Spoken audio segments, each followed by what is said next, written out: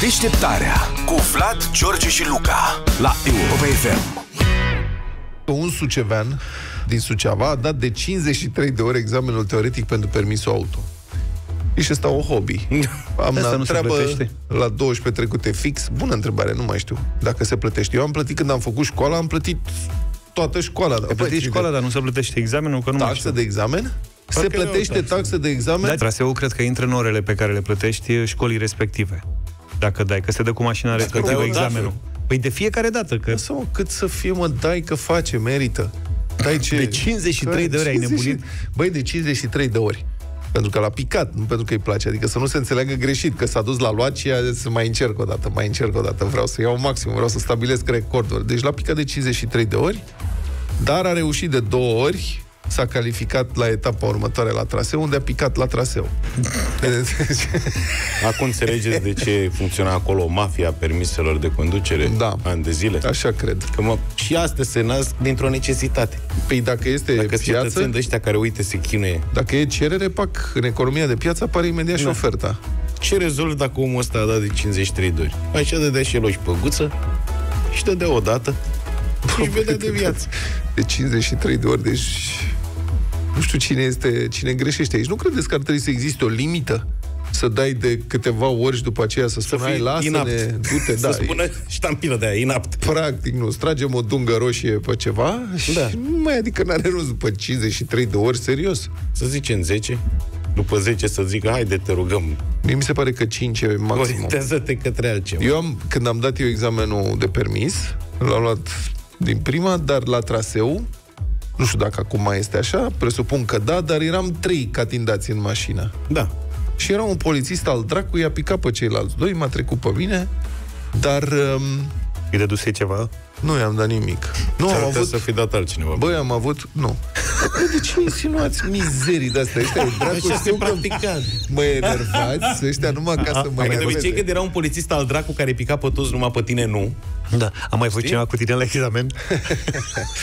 Nu, uh, dar, bă, am avut și noroc. Adică m-a pus să fac parcarea laterală, singura care nu mi ieșea niciodată, niciodată. Și când parcarea laterală zic, hai, asta a fost, bă, mi-a ieșit, n-am să uit, în față era un trabant. Am parcat pe lângă trabantul ăla, ca după regulă, am dat în spate până la stâlpul Reperele în aia, spate, da. reperele, nu știu ce.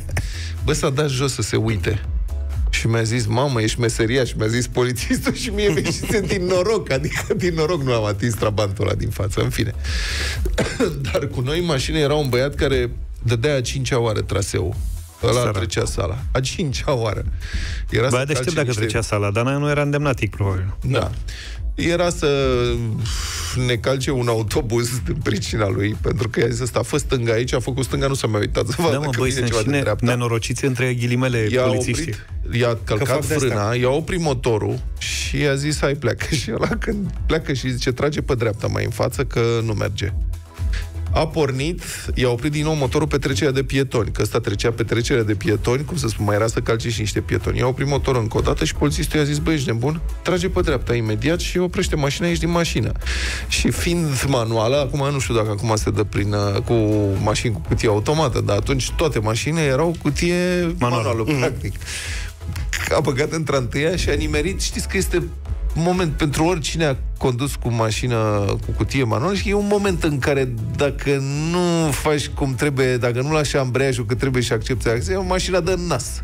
Da. Și ăsta a prins exact partea aia de echilibru fără să vrea și a dat în nas de 5 ori la rând. Da. Și polițistul se ținea și ținea cașcheta cu mâna și făceam toți în mașină și noi în spate pe pacheta în spate, eu și cu ăla ne stricam de râs și polițistul făcea ce fac? Pleacă o dată! Ce fac? Pleacă o dată! aici, Înțelegi? Și ăsta se ținea de volan și încerca să plece și mașina făcea hâci, hâci, hâci. Acum e mai greu să fac așa, mai ales în pantă, că mașinile au stopul ăla.